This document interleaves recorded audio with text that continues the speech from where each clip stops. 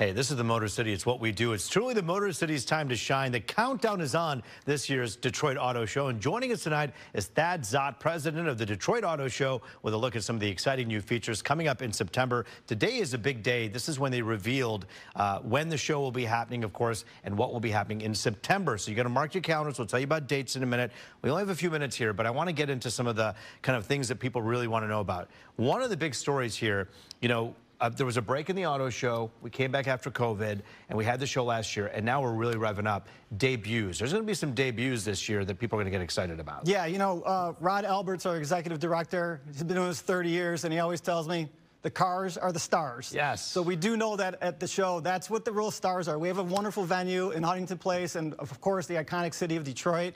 When it comes down to a successful show, you got to have great vehicles, and they are the stars of the show. And we have confirmed some very exciting reveals this year, debuts, if you will.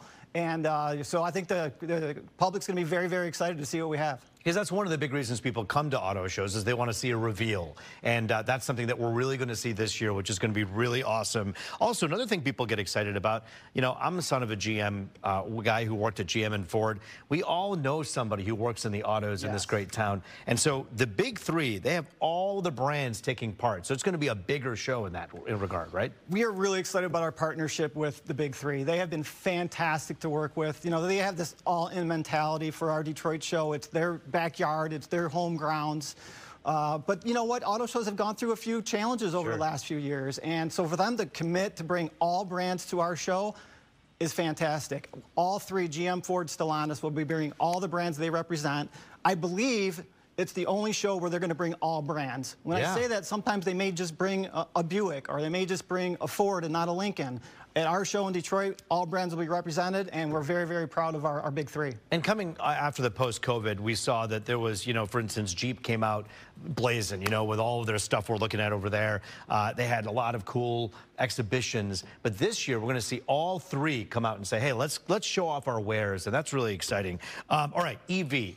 Whether you like, look, a lot of people say it's political. It's not. There, there's electric vehicles out there, a lot of them. They're making them for all over the world. Uh, that is happening, and there's going to be some interesting EV displays as well. Very excited about EV. Obviously, the, it's the big buzz in our industry. Yeah. We're in a major transitional time period in our in our industry, and EVs is taking a lot of that uh, you know investment that these OEMs are making in particular. Obviously, the media has jumped on board. Uh, you said politically, but you know it's part it's part of the politics too, yeah, right? Everybody's pushing the, the EVs. So I think what we can bring to the table is some education and some comfort level. There's a lot of I think hesitation still about this new technology. We're going to have an opportunity to have a whole bunch of EVs under one roof where you can actually experience it. Some you'll be able to drive, some you'll be able to ride. But we have a test track in the back of Huntington Place this year. First time we're having an indoor EV track with 15 different EV models on that track.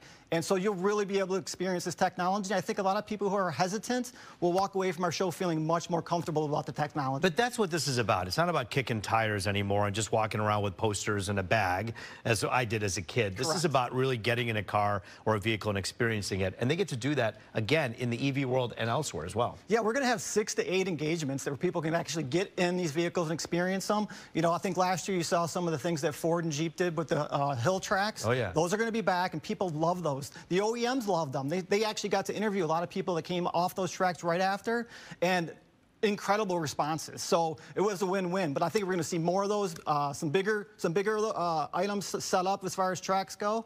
And like I said, an outdoor track activation too, where the consumer will be able to drive EVs uh, on the Grand Prix track. So again, we just got a lot of excitement going. More to come. Stay tuned. Yeah, you know what? He, this guy gets pumped up. You talked to him about this. There's a reason he's the president of this year's show. Thad Szott, so good to see you. We're Likewise. excited, and we're excited here at Fox 2 to, to bring some great things to light with you. So well, we're all in this to together, and the media is yep. a big part of it. You guys have been fantastic, so thank you so much for your support. Always good to see you, my man. Likewise. Be well. We'll talk to you very soon.